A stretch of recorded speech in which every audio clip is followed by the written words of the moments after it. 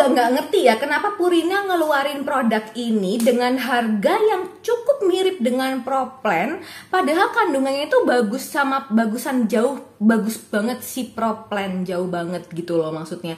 Dan juga secara efek juga jauh banget. Aku nggak ngerti kenapa harus ada Purina One ya e, kayak mendompleng nama Purina gitu ya padahal Purina itu e, ini lebih identik dengan si Proplan gitu loh. Dan aku juga ngerasa kandungannya juga bagus propline jauh sih tapi harga itu mirip banget. Harga itu kayak beda tipis banget. Ibaratnya kalau dengan harga beda tipis itu mendingan beli propline deh. Mikel mau nggak? Mau nih Mikel nih.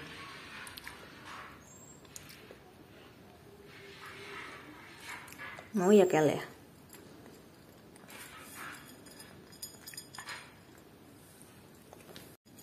Semangat lagi makannya dia si Mikel?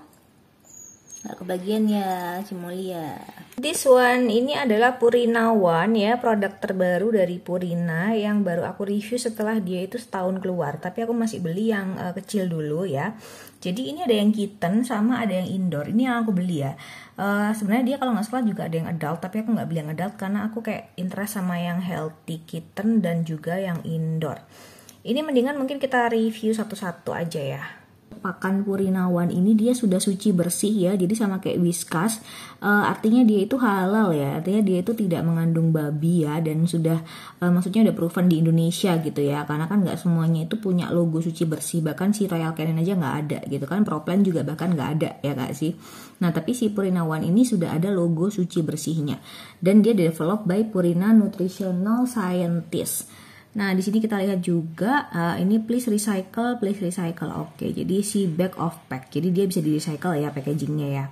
Nah, ini yang kitten ya, dia punya visible health uh, for life. Jadi itu adalah slogannya. Nah, kemudian dia ini healthy kitten dan dia ini yang uh, untuk kitten itu dia uh, mengandung chicken ya. Jadi kandungannya itu chicken dan dia bisa untuk di bawah satu tahun atau 1 sampai 12 bulan. Nah, dia punya klaim bahwa immune defense plus plus ya. Jadi spesial dibuat untuk uh, membantu mensupport imun. Hello everyone, welcome back to my YouTube channel dengan aku Nita. Buat kamu yang baru banget masuk ke channel ini, hi, thank you for stopping by here in this video. Dan buat kamu yang udah nungguin video aku, I'm so sorry, aku baru bisa upload sekarang. Itu pun aku habis pulang kerja ya, karena aku mau nge-review produk ini ya yang udah banyak ditunggu-tunggu. Karena kan biasanya kalian tuh pakai ProPlan ya. Ini tuh adalah salah satu brand yang dimiliki oleh ProPlan yaitu dari Purina ya ya Purina tuh punya Proplan, punya ini, punya Friskies juga dan ada beberapa uh, merek-merek cat food lainnya. Yang aku kali ini mau ngebahas Purina One yang healthy kitten. Nah, menurut kalian kayak gimana? Yuk kita bedah komposisinya. Stay tune terus di YouTube aku dan jangan lupa kasih aku feedback. Visi, visi itu maksudnya bukan visi misi ya, tapi maksudnya itu penglihatan ya. Jadi dibuat dari vitamin A dan juga DHA. Jadi include gitu vitamin A dan juga DHA. Nah, kemudian juga ada uh, high level of quality protein tentunya dan juga taurin. Nah, yang di bawah juga uh, karena ini makanan kitten, jadi biasanya makanan kitten itu tinggi kalsium dan juga tinggi vitamin D. Uh, vitamin D itu juga jarang sih sebenarnya, lebih banyak ke tinggi kalsium. Nah, ini baru baru ini aku lihat ada kayak klaim sekaligus dia tuh memasukkan vitamin D. Nah, di sini juga di bawahnya mungkin agak nggak kelihatan, tidak uh, ditambahkan artificial color flavor dan preservatif. Ini klaim ini juga ada di Propen jadi tenang aja kalau buat kalian yang pakai Propen sama kayak aku. Aku juga masih setia dengan Propen. Dia menstate uh, bukan poultry aja tapi adalah chicken karena kalau poultry itu berarti macam-macam ya burung juga masuk situ. Proteinnya 39% fatnya 18 jadi termasuk gede untuk uh, ini ya kucing yang masih kitten Purina One ini unik ya dia itu punya three week challenge jadi dia itu membuat apa ya kayak campaign bahwa selama tiga minggu itu pasti akan terlihat ada perubahan di kucing kamu gitu. Jadi di sini juga kelihatan uh, kibelnya itu kayak gimana. Jadi orang tuh tidak menerka-nerka gitu ya bentuk kibelnya itu kayak gimana. Dan di sini sekali lagi ditulis no edit artificial color, flavor and preservative. Nah, kalau kita lihat uh, dari klaimnya, jadi ini cuma membreakdown klaim yang ada di depan ya. Jadi lebih dipanjangin gitu ya, di breakdown apa aja gitu. Contohnya kayak bone and joint health, kemudian high digestibility artinya mudah dicerna gitu ya. kemudian dental health juga karena uh, kibelnya itu cukup menarik ya bentuknya sama warnanya warnanya itu kayak beda-beda ya. formulated meet the nutritional level established by AAFCO jadi dia ini berpedoman pada AAFCO ya jadi uh, proteinnya berapa fatnya berapa itu sesuai dengan standar AAFCO jadi nggak ditambahkan uh, vitamin mineral dan other suplemen unless specifically uh, directed by a veterinarian. Lalu karena dia pakan kitten jadi dia itu juga bisa buat uh, ini female yang sedang reproducing. Jadi ke kucing yang uh, betina yang udah cukup umur itu untuk uh, kehamilan dan menyusui gitu. Jadi uh, in the stage of gestation and lactation. Jadi even untuk uh, menyusui pun juga oke. Okay. Kalau usianya 4 sampai 8 minggu itu 40 sampai 55 gram. Eh banyak loh ya, 4 sampai 8 minggu itu masih badannya masih berapa kilo ya. Kadang-kadang juga kayaknya belum ada yang juga yang belum nyampe satu kilo ya tapi ini sudah banyak banget nih ininya apa namanya uh, feeding guide-nya itu udah banyak contohnya aja kayak misalkan kalau misalkan dia 12 bulan atau udah setahun gitu ya 12 bulan itu pakannya justru 65 sampai 80 gram. Wih banyak banget loh ini. Ini uh, di luar ini di luar kewajaran sebenarnya. Tapi uh, it's okay sih. Sebenarnya setiap uh, cat food cat food juga ada yang memang uh, daily feedingnya itu berdasarkan uh, mingguan. Ada juga yang berdasarkan berat badan gitu. Jadi mungkin mereka punya tolak ukur tersendiri ya. Nah kalau di sini kan kita lihat nih provide the nutritional requirement for all stage of development jadi healthy kitten around 4 week of age dan mix with water uh, to make eating easier. Oh, jadi ini sebenarnya juga bisa dicampur dengan air karena kayak ini kibelnya itu nggak terlalu crunchy. Jadi kibelnya nggak terlalu tebal gitu ya. Jadi nggak bikin sakit gigi. Kalau buat nih ya terutama ya. Jadi dia juga uh, lebih mudah diencerkan sama air. Ah, unik sekali, unik, unik, unik, unik. Dari tadi itu aku nyariin kandungannya ya di belakang ya. Ternyata tuh kandungannya di samping gitu loh. Ya, ini kita lihat dulu aja ya nutrition analysisnya. Ini cukup tinggi, protein 39, fat 18, moisture 12. S-nya ini berapa? 8,5, fibernya 3%, kalsium 1%, fosfor 0,9, taurin 0,1, vitamin E 9277. Oke, vitamin C 67 mg per kilogram. Uh, aku sukanya emang purina itu vitamin C-nya nggak terlalu tinggi ya, karena kucingku tuh suka diare kalau vitamin C-nya tinggi. Vitamin D-nya lumayan tinggi nih, 865 IU per kilogram uh, vitamin E-nya 514, DHA 0,01, omega 3 uh, dan EPA dan DHA 0,06. Nah, metabolisme energinya itu 3,91 kilokalori per gram. Kayaknya memang lebih sedikit dibandingkan propen kitten. Propen kitten tuh kayaknya 4000 something deh. Nah, sekarang kita lihat nih uh, kandungannya nih ya kan. Nah, kandungan dari si purina ini poultry meal ya jadi ini adalah uh, tepung unggas. Jadi maksudnya itu adalah dehydrated ya. Jadi dikeringkan gitu loh. Masih ada grainnya gitu ya, bukan bukan grain free. Ada poultry oil, ada rice ya, beras, kemudian ada jagung, ada fish meal. Oh, jadi di sini juga ada masuk uh, ikan-ikanan juga. Kemudian ada chicken digest powder ya.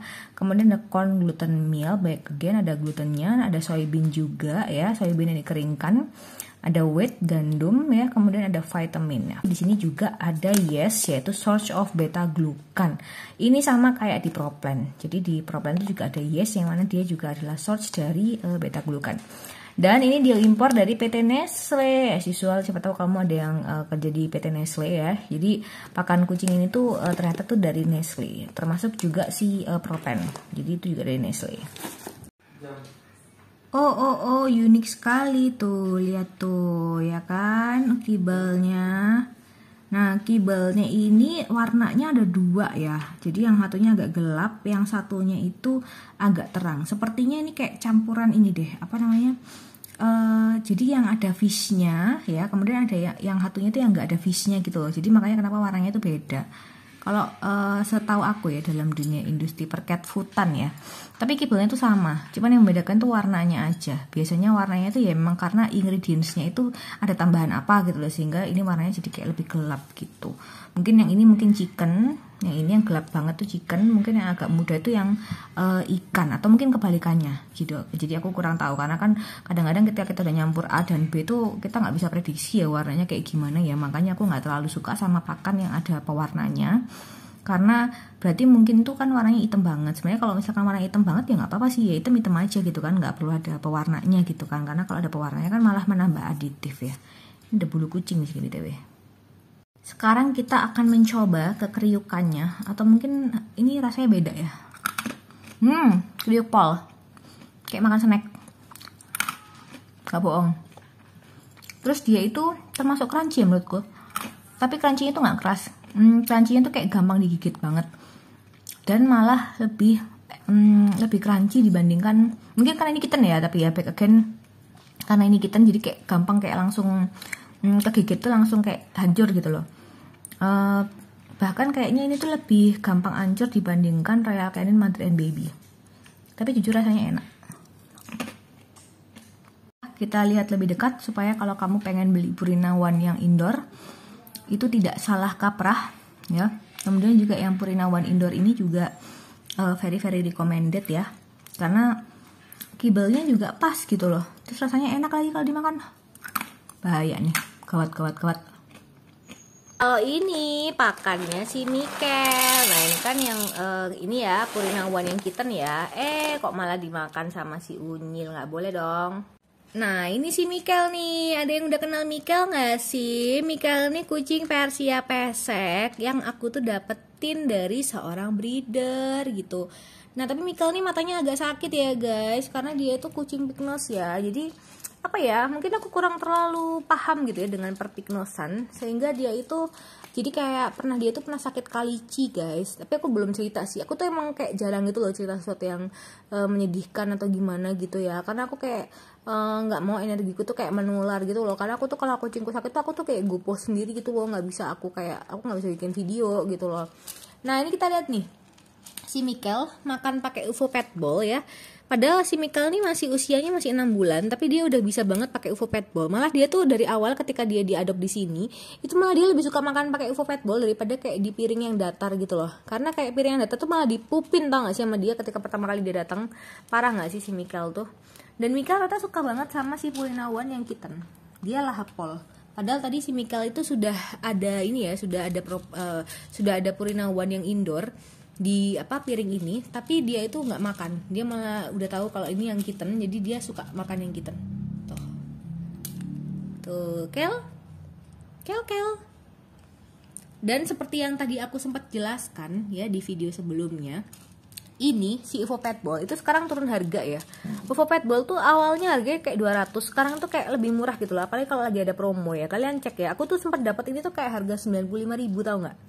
Dan UFO Pet Ball ini ya, ternyata dia tuh produk kerajinan tangan ini orang Indonesia. Jadi dia bukan ini ya bukan apa kayak bukan kayak maklon di Cina atau bukan kayak impor di Cina. Ini tuh produk maklon Indonesia eh buat teman ini tuh produk asli Indonesia dari pengrajin di Indonesia. Tuh kayu-kayunya ini udah furnish bagus tuh.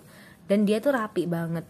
Terus juga yang paling enak ini ini tuh microwave ini loh bahannya tuh bahan microwave loh. Jadi dia ini bukan kaca ya ini tuh bahan microwave. Jadi kalau buat kalian yang kucingnya itu makan ini yang direbus-rebus ya itu bisa banget direbus itu e, ditaruh dia masih panas gitu kan itu taruh di sini masih oke okay, aman gitu nggak masalah karena dia bukan yang kayak plastik gitu. Jadi dia tuh emang kandungannya kandungan eh jadi dia tuh bahannya emang bahan-bahan ini buat microwave atau oven. Tuh seperti yang kalian lihat ini kan aku belinya kecil jadi otomatis tuh kayak aku tuh kayak cuman first impression gitu loh. Jadi artinya uh, dalam review ini itu tidak ada kayak ini ya kesimpulan artinya kesimpulan dia ini setelah menggunakan ini tuh kayak gimana hasilnya tuh nggak ada ya. Jadi emang bener-bener video ini tuh first impression full of bedah komposisi.